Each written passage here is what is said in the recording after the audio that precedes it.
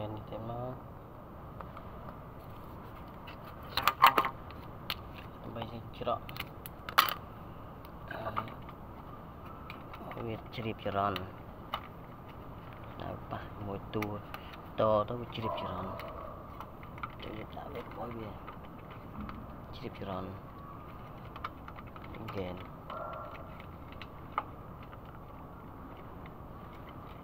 គេនអរបងមានទៅរីកមិនរីកមិនប្រាប់ផងថាតើគូដាក់យ៉ាងណា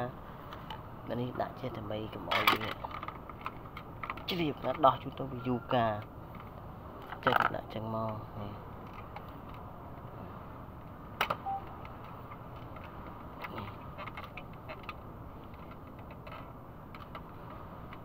ខ្សែលេខ6ខ្សែធំដាក់ចឹងហើយវាអេលេខ6លេខ4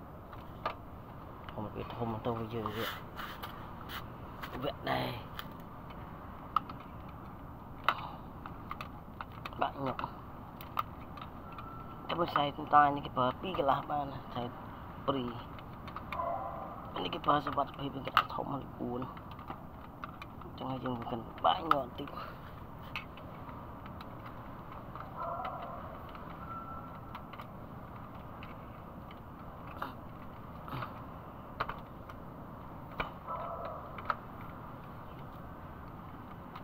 បានបានចូលហើយវា